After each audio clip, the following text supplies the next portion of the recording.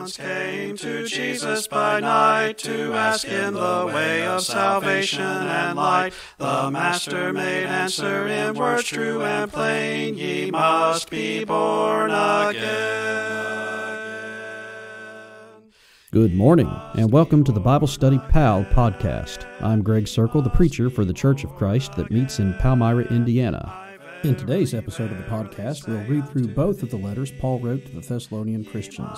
The goal of this public reading of this portion of Scripture is to spark thoughts for discussion in the midweek Bible study and prepare for the Book of the Month sermon series that goes through 2023. If you have any thoughts or questions that come to mind during the reading, type them in the comment section below. Feel free to read along on the screen or compare it with your favorite translation. The translation for this reading comes from the Holy Bible, Berean Standard Bible, BSB. This translation is now in the public domain. See Berean.Bible for more information. Ye must be born again. Let's get into the reading. Paul's first letter to the Thessalonian church. Paul, Silvanus, and Timothy, to the church of the Thessalonians in God the Father and the Lord Jesus Christ. Grace and peace to you. We always thank God for all of you, remembering you in our prayers and continually recalling before our God and Father your work of faith, your labor of love, and your enduring hope in our Lord Jesus Christ. Brothers who are beloved by God, we know that He has chosen you because our gospel came to you not only in word, but also in power, in the Holy Spirit, and with great conviction, just as you know we lived among you for your sake. And you became imitators of us and of the Lord when you welcomed the message with the joy of the Holy Spirit in spite of your great suffering. As a result, you have become an example to all the believers in Macedonia and Achaia. For not only did the message of the Lord ring out from you to Macedonia and Achaia, but your faith in God has gone out to every place, so that we have no need to say anything more. For they themselves report what kind of welcome you gave us, and how you turned to God from idols to serve the living and true God, and to await his Son from heaven, whom he raised from the dead, Jesus our deliverer from the coming wrath. You yourselves know, brothers, that our visit to you was not in vain. As you are aware, we had already endured suffering and shameful treatment in Philippi. But in the face of strong opposition, we were bold in our God to speak to you the gospel of God. For our appeal does not arise from deceit or ulterior motives or trickery. Instead, we speak as those approved by God to be entrusted with the gospel, not in order to please men, but God, who examines our hearts. As you know, we never used words of flattery or any pretext for greed. God is our witness. Nor did we seek praise from you or from anyone else, although as apostles of Christ we had authority to demand it. On the contrary, we were gentle among you, like a nursing mother caring for her children. We cared so deeply that we were delighted to share with you not only the gospel of God, but our own lives as well. That is how beloved you have become to us.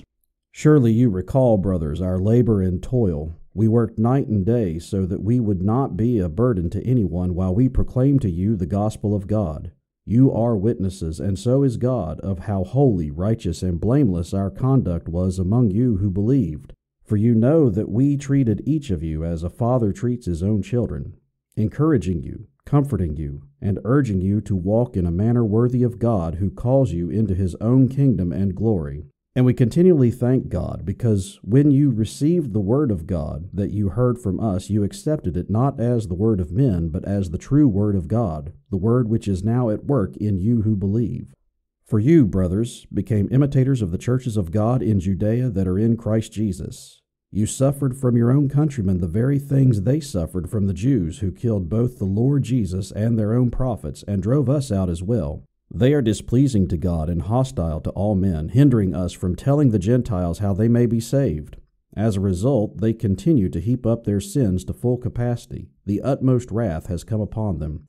Brothers, although we were torn away from you for a short time, in person, not in heart, our desire to see you face to face was even more intense, for we wanted to come to you. Indeed, I, Paul, tried again and again, but Satan obstructed us. After all, who is our hope? Our joy, our crown of boasting, if it is not you yourselves in the presence of our Lord Jesus at his coming. You are indeed our glory and our joy.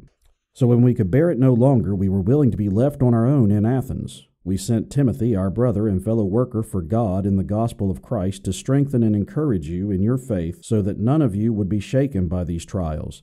For you know that we are destined for this.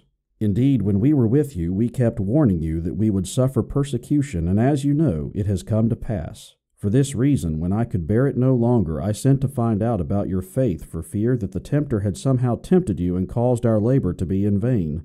But just now Timothy has returned from his visit with the good news about your faith, your love, and the fond memories you have preserved, longing to see us just as we long to see you. For this reason, brothers, in all our distress and persecution, we have been reassured about you because of your faith. For now we can go on living as long as you are standing firm in the Lord. How can we adequately thank God for you in return for our great joy over you in His presence? Night and day we pray most earnestly that we may see you face to face and supply what is lacking from your faith. Now may our God and Father Himself and our Lord Jesus direct our way to you, and may the Lord cause you to increase and overflow with love for one another and for everyone else, just as our love for you overflows, so that He may establish your hearts in blamelessness and holiness before our God and Father at the coming of our Lord Jesus with all His saints. Amen. Finally, brothers, we ask and encourage you in the Lord Jesus to live in a way that is pleasing to God, just as you have received from us. This is how you already live, so you should do so all the more. For you know the instructions we gave you by the authority of the Lord Jesus. For it is God's will that you should be holy. You must abstain from sexual immorality. Each of you must know how to control his own body in holiness and honor, not in lustful passion like the Gentiles who do not know God, and no one should ever violate or exploit his brother in this regard, because the Lord will avenge all such acts, as we have already told you and solemnly warned you. For God has not called us to impurity, but to holiness. Anyone then who rejects this command does not reject man, but God, the very one who gives you his Holy Spirit. Now, about brotherly love, you do not need anyone to write to you, because you yourselves have been taught by God to love one another, and you are indeed showing this love to all the brothers throughout Macedonia. But we urge you, brothers, to excel more and more, and to aspire to live quietly, to attend to your own matters, and to work with your own hands as we instructed you. Then you will behave properly toward outsiders without being dependent on anyone. Brothers, we do not want you to be uninformed about those who sleep in death, so that you will not grieve like the rest who are without hope. For since we believe that Jesus died and rose again, we also believe that God will bring with Jesus those who have fallen asleep in him. By the word of the Lord we declare to you that we who are alive and remain until the coming of the Lord will by no means precede those who have fallen asleep. For the Lord himself will descend from heaven with a loud command, with the voice of an archangel, and with the trumpet of God, and the dead in Christ will be the first to rise. After that, we who are alive and remain will be caught up together with them in the clouds to meet the Lord in the air, and so we will always be with the Lord. Therefore, encourage one another with these words. Now, about the times and seasons, brothers, we do not need to write to you, for you are fully aware that the day of the Lord will come like a thief in the night. While people are saying peace and security, destruction will come upon them suddenly, like labor pains on a pregnant woman, and they will not escape. But you, brothers, are not in the darkness, so that this day should overtake you like a thief. For you are all sons of the light and sons of the day. We do not belong to the night or to the darkness, so then let us not sleep as the others do, but let us remain awake and sober. For those who sleep, sleep at night, and those who get drunk, get drunk at night. But since we belong to the day, let us be sober, putting on the breastplate of faith and love and the helmet of our hope of salvation. For God has not appointed us to suffer wrath, but to obtain salvation through our Lord Jesus Christ. He died for us, so that whether we are awake or asleep, we may live together with him. Therefore, encourage and build one another up, just as you are already doing. But we ask you, brothers, to acknowledge those who work diligently among you, who preside over you in the Lord and give you instruction. In love, Hold them in highest regard because of their work. Live in peace with one another. And we urge you, brothers, to admonish the unruly, encourage the faint hearted, help the weak, and be patient with everyone. Make sure that no one repays evil for evil. Always pursue what is good for one another and for all people. Rejoice at all times. Pray without ceasing. Give thanks in every circumstance, for this is God's will for you in Christ Jesus. Do not extinguish the Spirit. Do not treat prophecies with contempt, but test all things. Hold fast to what is good. Abstain from every form of evil. Now may the God of peace himself sanctify you completely, and may your entire spirit, soul, and body be kept blameless at the coming of our Lord Jesus Christ. The one who calls you is faithful, and he will do it. Brothers, pray for us as well. Greet all the brothers with a holy kiss. I charge you before the Lord to have this letter read to all the brothers. The grace of our Lord Jesus Christ be with you. Paul's second letter to the Thessalonian church. Paul, Silvanus, and Timothy. To the church of the Thessalonians in God our Father and the Lord Jesus Christ. Grace and peace to you from God our Father and the Lord Jesus Christ. We are obligated to thank God for you all the time, brothers, as is fitting, because your faith is growing more and more, and your love for one another is increasing. That is why we boast among God's churches about your perseverance and faith in the face of all the persecution and affliction you are enduring. All this is clear evidence of God's righteous judgment, and so you will be counted worthy of the kingdom of God for which you are suffering. After all, it is only right for God to repay with affliction those who afflict you, and to grant relief to you who are oppressed, and to us as well. This will take place when the Lord Jesus is revealed from heaven with his mighty angels in blazing fire, inflicting vengeance on those who do not know God and who do not obey the gospel of our Lord Jesus they will suffer the penalty of eternal destruction, separated from the presence of the Lord and the glory of his might on the day he comes to be glorified in his saints and regarded with wonder by all who have believed, including you who have believed our testimony. To this end, we always pray for you, that our God will count you worthy of his calling, and that he will powerfully fulfill your every good desire and work of faith so that the name of our Lord Jesus will be glorified in you, and you in him, according to the grace of our God and of the Lord Jesus Christ. Now, concerning the coming of our Lord Jesus Christ and our being gathered together to him, we ask you, brothers, not to be easily disconcerted or alarmed by any spirit or message or letter seeming to be from us, alleging that the day of the Lord has already come. Let no one deceive you in any way, for it will not come until the rebellion occurs and the man of lawlessness, the son of destruction, is revealed. He will oppose and exalt himself above every so called God or object of worship, so he will seat himself in the temple of God, proclaiming himself to be God. Do you not remember that I told you these things while I was still with you? And you know what is now restraining him, so that he may be revealed at the proper time. For the mystery of lawlessness is already at work, but the one who now restrains it will continue until he is taken out of the way, and then the lawless one will be revealed, whom the Lord Jesus will slay with the breath of his mouth and annihilate by the majesty of his arrival. The coming of the lawless one will be accompanied by the working of Satan, with every kind of power, sign, and false wonder, and with every wicked deception directed against those who are perishing because they refused the love of the truth that would have saved them.